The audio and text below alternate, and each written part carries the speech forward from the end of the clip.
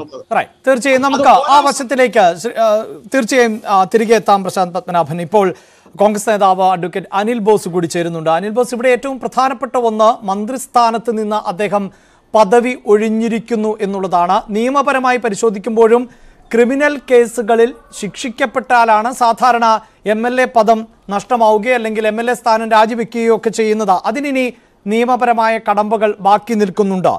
പക്ഷേ ഈ പ്രതിഷേധം അതായത് ഈ മന്ത്രി ആയിരുന്നപ്പോൾ നടത്തിയ വിവാദ പരാമർശത്തെ തുടർന്ന് വലിയ പ്രതിഷേധം ഉയർത്തിയത് കോൺഗ്രസ് ആയിരുന്നു. ഒരു നിമിഷം പോലും മന്ത്രിസ്ഥാനത്ത് തുടരാൻ അർഹതയില്ല എന്ന മട്ടിൽ തന്നെയായിരുന്നു ആ പ്രതിഷേധം മുന്നോട്ട് പോയത്.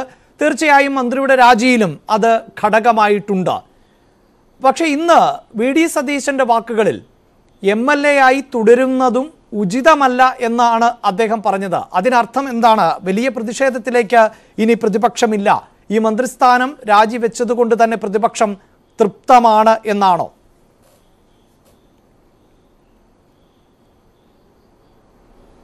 അങ്ങനെയല്ല. അങ്ങനെ വ്യാഖ്യാനിക്കുന്നതിനോട് ഞാൻ യോജിക്കുന്നില്ല. നിലവിൽ ധാർമ്മികത ഉയർത്തിപ്പിടിച്ചുകൊണ്ട് ഒന്നുമല്ല സജി ചെറിയാൻ രാജിവെച്ചിട്ടുള്ളത്. അങ്ങനെ രാജിവെക്കേണ്ടിയിരുന്നുവെങ്കിൽ അത് ഈ സംഭവ ദിവസം തന്നെ രാജിവെക്കണമായിരുന്നു. കാരണം വിവാദം ആളിക്കത്തിയ സന്ദർഭത്തിൽ തന്നെ തനിക്ക് തെറ്റുപറ്റിയിരിക്കുന്നു എന്ന് പറഞ്ഞുകൊണ്ട് രാജി കൊടുക്കാൻ അദ്ദേഹം തയ്യാറാകണമായിരുന്നു.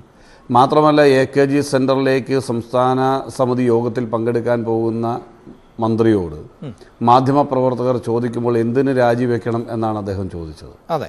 പിന്നീട് അദ്ദേഹത്തിന് പിടിച്ചു നിൽക്കാൻ കഴിയാത്ത സന്ദർഭത്തിൽ പാർട്ടി ആവശ്യപ്പെടാതെ മുഖ്യമന്ത്രി ആവശ്യപ്പെടാതെ അദ്ദേഹം രാജിവെക്കുന്നു അതൊരു സ്വതന്ത്ര ചിന്തയുടെ അടിസ്ഥാനത്തിലാണെന്നാണ്. അപ്പോഴും അദ്ദേഹം തെറ്റുപറ്റി എന്ന് അംഗീകരിക്കാൻ തയ്യാറല്ല.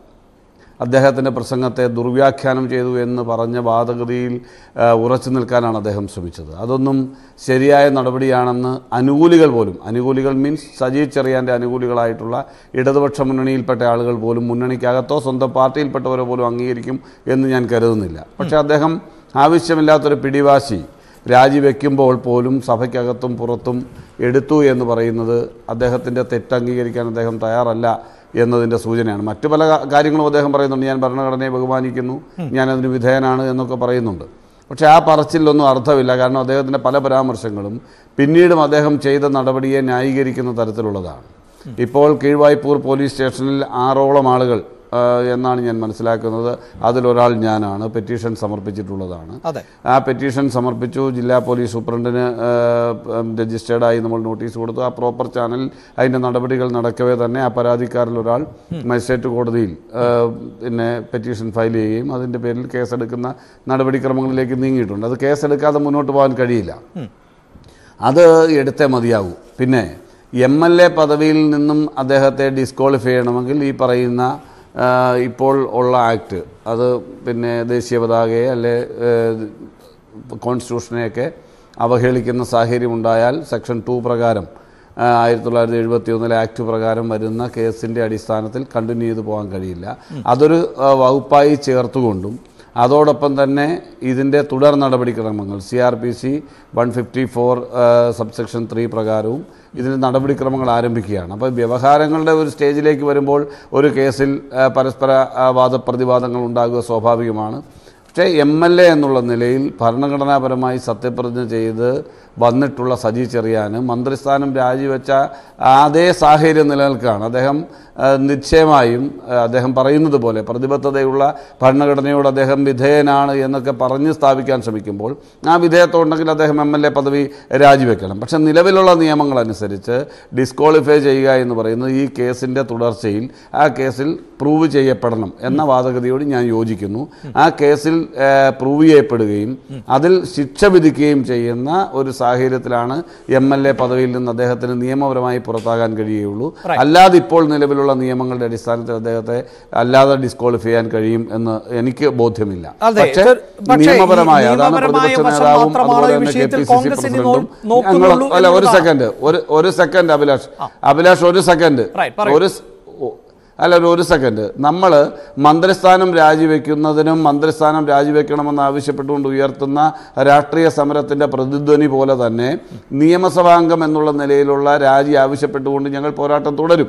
ആ പോരാട്ടം തുടരുമ്പോഴും അദ്ദേഹത്തിന് പിടിച്ചു നിൽക്കാൻ കഴിയുന്ന ചില നിയമസാധുതകൾ ഇവിടെ ഉണ്ട്. അത് ഞങ്ങൾ അംഗീകരിച്ചുകൊണ്ടാണ് ഞങ്ങൾ പറഞ്ഞത്. സി ആർ പി സി അനുസരിച്ച് രജിസ്റ്റർ ചെയ്യുന്ന കേസും തുടർ കോടതി വ്യവഹാരങ്ങളുടെയും അടിസ്ഥാനത്തിൽ ഞങ്ങൾ അല്ലാതെ ഇത് അദ്ദേഹം രാജിവെക്കരുതെന്ന് പറഞ്ഞു പോവുകയല്ല ചെയ്തത്? ഞങ്ങൾ യാഥാർത്ഥ്യങ്ങൾ ബോധ്യപ്പെട്ടുകൊണ്ടാണ് ഞങ്ങൾ നിലപാടെടുക്കുന്നത്. ഇവിടെ ഞങ്ങളുടെ നിലപാട് സുവ്യക്തമാണ്. മന്ത്രിസ്ഥാനം രാജിവെച്ചാൽ പോരാ എം എൽ എ സ്ഥാനം രാജിവെക്കണം എന്ന യു ഡി എഫ് നിലപാട് കോൺഗ്രസ് നിലപാട് സുവ്യക്തമാണ്. എന്നാൽ സജി ചെറിയാൻ എന്നുള്ള വ്യക്തിക്ക് ഒരു എം എൽ എക്ക് നിലനിൽക്കാൻ കഴിയുന്ന ചില നിയമസാധുകൾ ഉപയോഗിക്കാൻ കഴിയും എന്നുള്ളത് കൊണ്ടാണ് ഞങ്ങൾ നിയമപരമായി പോരാട്ടം തുടരും. അതിനാവശ്യമായ പഠനങ്ങൾ നടത്തി മുന്നോട്ട് പോകും എന്ന് പറയുന്നത്. ഇപ്പോൾ നിലവിലുള്ള കേസ് എന്ന് പറയുന്നതിന്റെ അടിസ്ഥാനത്തിലുള്ള വ്യവഹാരങ്ങൾ നടക്കട്ടെ. ഞങ്ങളെ സംബന്ധിച്ചിടത്തോളം അദ്ദേഹം എം എൽ എ എന്നുള്ള നിലയിലുള്ള രാജിയിലേക്ക് വരുന്നില്ല എങ്കിൽ അതിന് ഉജ്ജ്വലമായ നിയമ പോരാട്ടങ്ങൾക്ക് നേതൃത്വം നൽകും.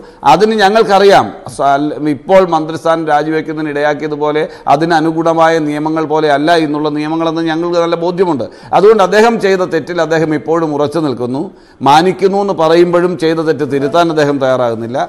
അതുകൊണ്ട് തന്നെ കൃത്യമായ നിയമ പോരാട്ടം നടത്തും ആ നിയമ പോരാട്ടത്തിന്റെ ഒടുക്കം എന്താണ് വിധിയെന്ന് നമുക്ക് ഇപ്പോഴേ പ്രഡിക്റ്റ് ചെയ്യാൻ കഴിയില്ല പക്ഷെ ഞങ്ങൾ വിശ്വസിക്കുന്നു നിലവിൽ അദ്ദേഹം ചെയ്തിട്ടുള്ള ഈ രാജ്യത്തെ ഓരോ പൗരന്മാരും വിശ്വസിക്കുന്നു അദ്ദേഹം ചെയ്തിട്ടുള്ളത് ഗുരുതരമായ ഭരണഘടനാ ലംഘനമാണ് ഭരണഘടനയെ അവഹേളിക്കലാണ് അതുകൊണ്ട് കൃത്യമായും അദ്ദേഹത്തിന് മൂന്ന് വർഷത്തിൽ കുറയാത്ത ശിക്ഷ കിട്ടുന്ന നടപടിക്രമങ്ങളിലേക്ക് പോകാൻ ഈ കേസിൽ കഴിയും എന്നാണ് ഞങ്ങൾ പ്രതീക്ഷിക്കുന്നത് അതുകൊണ്ട് ആർ മാത്രമേ നിയമ പോരാട്ടത്തെ കുറിച്ച് പറയുന്നുള്ളൂ എന്നുള്ളത് പോലെ തീർച്ചയായും എന്ന് ധരിക്കേണ്ടത് തീർച്ചയായും താങ്കൾക്കും ബോധ്യമുള്ളതാകും. നേരത്തെ അത് ശ്രീ പ്രശാന്ത് പത്മനാഭൻ അക്കാര്യം സൂചിപ്പിക്കുകയും ചെയ്തു.